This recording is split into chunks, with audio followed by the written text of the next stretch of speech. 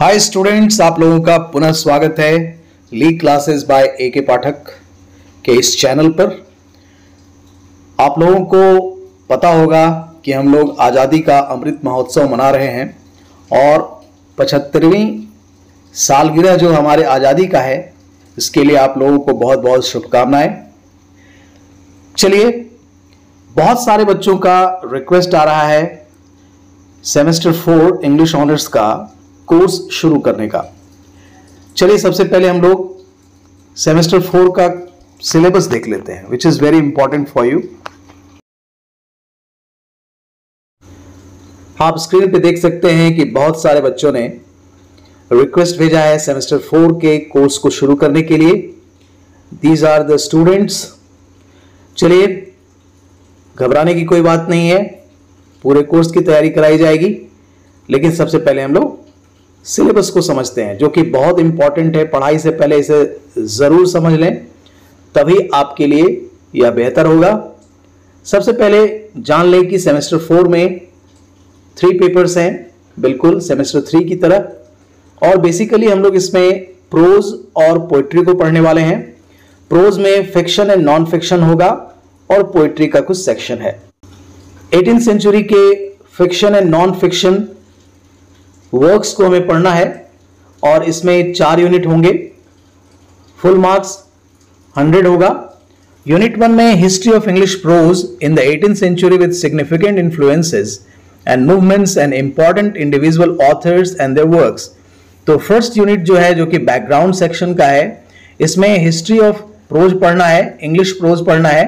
Eighteen century के उन महत्वपूर्ण इन्फ्लुएंसेस को जानना है। उन प्रभावों को जानना है मूवमेंट्स को जानना है इंडिविजुअल ऑथर्स को जानना है और उनके खास वर्क्स को भी जानना है।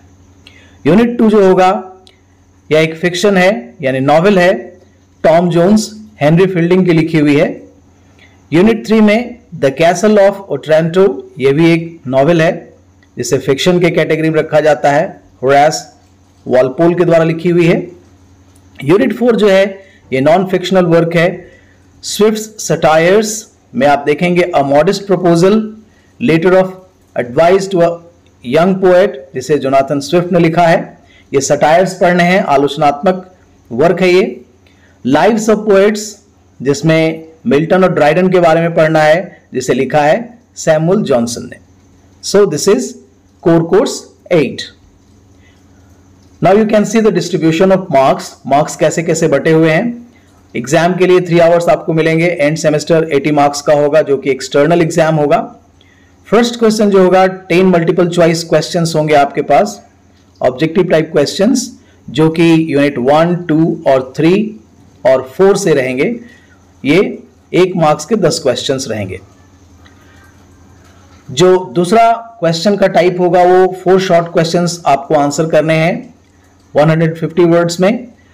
छह अल्टरनेटिव्स आपको मिलेंगे और इसका जो मार्क्स होगा, वो 10 मार्क्स का होगा। ये चार क्वेश्चन आपको लिखने हैं, ठीक है? तो ये 40 मार्क्स का है और ये यूनिट वन से पूछा जाएगा। थर्ड टाइप क्वेश्चन जो होगा, वो टू लॉन्ग क्वेश्चंस आपको करने होंगे और दो अल्टरनेटिव्स आपको यूनिट टू थ्री और फोर से मिलेंगे। ये पंद्रह पंद्रह मार्क्स के होंगे, लेकिन आपको सिर्फ़ दो क्वेश्चन करने हैं थर्टी मार्क्स के। टोटल मिलाकर 80 मार्क्स होता है। और जैसा कि इंटरनल असेसमेंट कॉलेज के द्वारा लिया जाता है तो on the basis of class unit test through the term 10 marks का होता है। Seminar NCC NSS sports extra curricular activities 5 marks के होते हैं। General behaviour and conduct regularity in attending classes ये फाइव मार्क्स का होता है। टोटल ये 20 मार्क्स का होता है तो टोटल ये 100 मार्क्स का होगा। सेम पैटर्न आपका, आपको देखने को मिलेगा। कोर कोर्स नाइन में। तो देखते हैं कोर कोर्स नाइन में क्या पढ़ना है आपको, जो कि नेक्स्ट पेपर होगा आपके फोर्थ सेमेस्टर का। ब्रिटिश प्रोज पढ़ना है फिक्शन एंड नॉन फिक्शन लेकिन ये नाइनटीन सेंचुरी का पढ़ना है। हम लोग पहले वाले में एटीन सेंचुरी का देख रहे थे, ये नाइनटीन सेंचुरी है। फुल मार्क्स हंड्रेड का होगा। यूनिट वन में history of English prose in the nineteen century with significant influences and movements and important individual authors तो सेम चीज़ पढ़ना है, लेकिन ये नाइनटीन सेंचुरी का पढ़ना, जैसा कि मैंने एटीन सेंचुरी के बारे में बताया। यूनिट टू में प्राइड एंड प्रेजुडिस एक नॉवेल है, जिसे लिखा है जेन ऑस्टिन ने। यूनिट थ्री में हार्ड टाइम्स डिकेंस की लिखी हुई एक नॉवल है, और यूनिट फोर जो है, ये नॉन फिक्शन है, जिसमें preface to the lyrical ballads William Wordsworth का लिखा हुआ है study of poetry Matthew Arnold का लिखा हुआ है। तो इस तरीके से ये कोर कोर्स नाइन का सिलेबस है। और same pattern of distribution of marks आप देख सकते हैं, यहाँ भी है। फ़र्स्ट क्वेश्चन जो होगा, वो यूनिट वन टू थ्री और फोर से एक एक मार्क्स के दस क्वेश्चन पूछे जाएँगे, ठीक है? सेकेंड टाइप क्वेश्चन जो होगा, वो चार शॉर्ट क्वेश्चन आपको तैयार करने हैं 150 वर्ड्स में आप इसे लिख सकते हैं।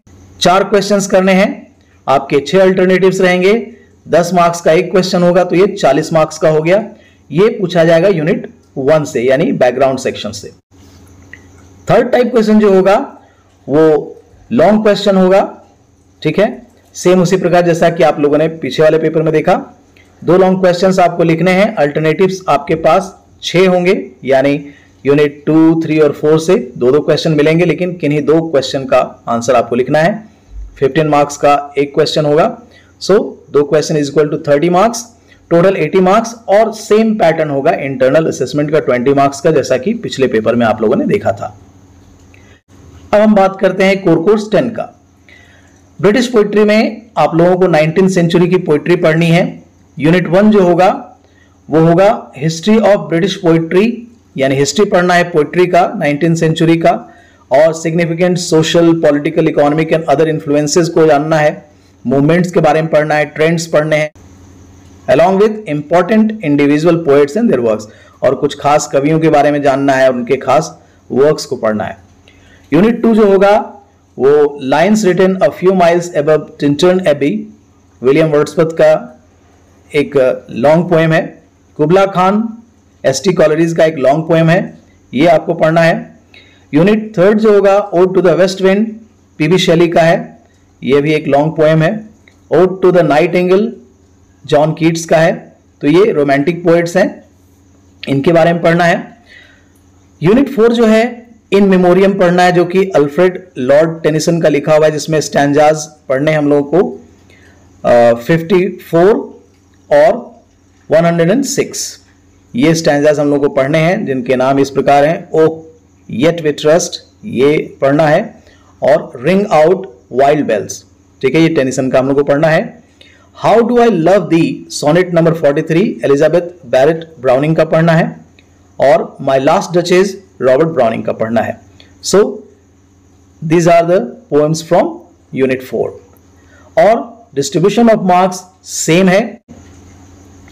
सिर्फ़ आपको ध्यान रखना है कि टेन मल्टीपल चॉइस क्वेश्चन आएँगे, चार शॉर्ट क्वेश्चन लिखने हैं, जो कि यूनिट वन से रहेगा। दस दस मार्क्स के चार क्वेश्चन करने हैं, छह अल्टरनेटिव्स रहेंगे। दो लॉन्ग क्वेश्चन करने हैं, जो कि यूनिट टू थ्री और फोर से रहेंगे। पंद्रह पंद्रह मार्क्स के दो क्वेश्चन आपको करने हैं। टोटल एटी मार्क्स और इंटरनल असेसमेंट का सेम तरीका है ट्वेंटी मार्क्स का so this is the same so I hope कि आप सिलेबस समझ गए होंगे। सो थैंक्स अलॉट जय Hind enjoy the classes and keep watching